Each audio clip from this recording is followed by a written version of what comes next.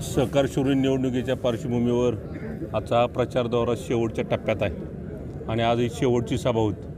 आणि शेवटची सभा असल्यामुळं सगळे सभासद हे आतुरतेने सगळे स्वतःहून हे सभासद इथं उपस्थित राहिले. आणि त्यांचा एवढा प्रतिसाद आणि त्यांचं एवढं मला आशीर्वाद एवढा मिळतो आहे की गाली गेली बावीस वर्ष सातत्याने जे आपण चांगल्या पद्धतीने काम करतो आहे सेवा करतो आहे आणि या सभासदांबरोबर आपलं एक रिलेशन जपण्याचं काम आम्ही आत्तापर्यंत त्या निमित्तानं पार पाडलेलं आहे. पिढ्यानपिढ्या राजकारण करत असताना आदरणीय सहकार शिरोमणी दादानीसुद्धा ह्या सभासदांना न्याय देण्याची जबाबदारी संस्था उभा केल्यानंतर मिळालेली आहे आणि ती चालवण्याची जबाबदारी त्यांचा सर्व मिळून आम्ही सर्व मिळून चांगल्या पद्धतीने चालवून सभासदाचा जो आज एवढा मोठा प्रतिसाद आहे तो खरंच आम्हाला अतिशय एक ताकद देण्याजोगा प प्रतिसाद आहे.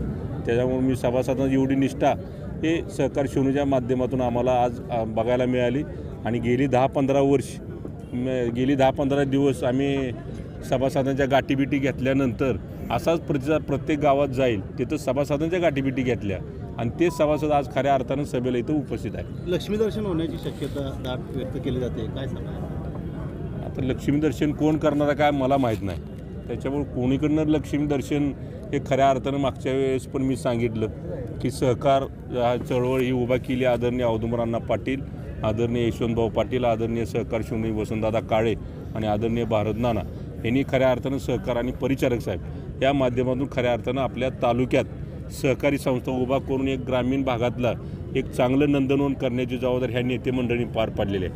आतापर्यंत गेली सातत्याने ह्यांच्यात एकमेकाच्या आम्ही पार्ट्या जरूर एकमेकाच्या विरोधात लढलो. की एकमेकाच्या कारखान्याने निवडणुका लढलो. पण असं विठ्ठल सहकारी साखर कारखान्यामध्ये जे झालं ते ह्याच्या पाठीमागं कधीही दहा वीस वर्षात झालेलं नाही. आणि आता ते सुद्धा सहकार शोरूमच्या इलेक्शनमध्ये होण्याची शक्यता आहे. पण आज जे सभासद उपस्थित आहे अशा ह्या लक्ष्मी दर्शन किंवा सभासद विठ्ठल जे त्यांना सक्सेस झालं तसं आता सभासद मात्र ह्यावेळी सावध आहे. कारण सभासदांनी आज एवढी मोठी इथं उपस्थित दाखवली. म्हणजे सभासदांचा विश्वास आमच्यावर आहे लक्ष्मी दर्शनवर नाही. सरकोली गटातील काही सभासदांना पळवापळवीची करण्यात आली असा आरोप करण्यात आला खास शेतकरी संघटनांनी आरोप केला होता रांजणीमध्ये एकूण अठ्ठावन्न सभासद आहेत. अठ्ठावन्नमध्ये दोन का काहीतरी नवे मयत आहेत आणि त्यातले जवळजवळ बावन्न सभासद हे त्यांनी मला मागच्या आठ दिवसात फोन केला होता की आम्ही देवाला कुठं तर गोकर्ण या भागात जाऊन आम्ही अभिषेक घालणार नाही. आणि तिथं देवाला दर्शनाला गेल्यानंतर ते स्वतःहून गेलेले आहेत. त्याच्यामुळे त्यांना कोणी उचलायचं किंवा काय ज्यावेळेस मला मीडियातून हां? मी ज्या मीडियातून मला माझ्यापर्यंत आलं मी तिथल्या कार्यकर्त्याला फोन केला.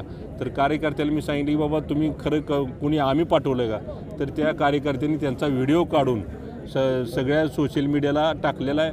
सगळ्यांना तो पोच केलेला आहे. त्याच्यामुळे आम्ही कोणी सभासद उचललेलं नाही.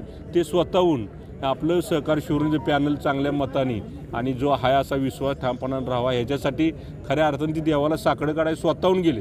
आमचा काय त्याचा हात पाठीमागं आम्ही काय संबंध नाही. तुम्ही असताल किंवा भगीरथ दादा असतील वारंवार त्यांच्या कारभाराबद्दल बोलताना धाराशिवचा उल्लेख करत होता. धाराशिवमध्ये ते गैरकारभार करतात इथे येऊन सांगतात की मी कारखाना चालणारा माणूस आहे. आणि त्या संदर्भात काही शेतकरी इथं आले त्यांनी खुलासा केला. त्याबाबतची काय प्रतिक्रिया? जे बाहेर आतापर्यंत आम्ही ओरडून सांगत होतो ते आज खऱ्या अर्थानं सत्य समोर आलं.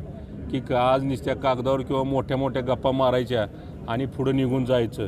काही सभासदांचे धाराशिवच्या सभासदांचे मला फोन आले. काय आमच्या कार्यकर्त्यांना सगळ्यांना फोन आले की आम्हाला स्वतःहून यायचं आहे. आणि हा माणूस फसवाय लबाड आहे. कारण आमचे ज्या कारखाना धाराशिव कारखाना त्यांनी ताब्यात घेतला त्या टायमाला त्यांनी असंच गावोगाव फिरले. सभासदांकडून शेअरच्या रकमा गोळा करून घेतल्या. तुमचा ऊस चांगला नेतो तुम्हाला दर चांगला देतो तुमच्या सगळ्या सुखसुविधा सभासदांच्या आम्ही पुरवतो अशा काय बोलथापा मारल्या आणि प्रत्येक सभासदाकडनं दहा दहा हजार रुपये शेअरची रक्कम घेतली. आणि मग त्यांचा मात्र मगाशी सभासदांनी जो उल्लेख केला की आमची शेअरची रक्कम घेतली आणि ऊस मात्र आमचा न्याला नाही. आणि जो ऊस आमच्या न्याला त्या ऊसाला सुद्धा बावीसशे एकवीसशे रुपये दर द्याला दिला आणि इतर कारखाने मग आंबेडकर आंबेडकर कारखाना असेल किंवा मांजरा कारखाना असेल तिने मात्र सव्वीसशे सत्तावीसशे म्हणजे पाच पाचशे रुपये त्या कारखान्याचे दर जास्त आहेत. आणि धाराशिवनं एवढा कमी दर देऊनसुद्धा त्यांची मानसिकता ऊस घालायची नाही. त्यांनी धाराशिव कारखान्याला ऊस न घालता जरी मांजरा कारखान्याला गेला असला तर त्या माणसाने शेअरच्या रकमा माघारी मागितल्या.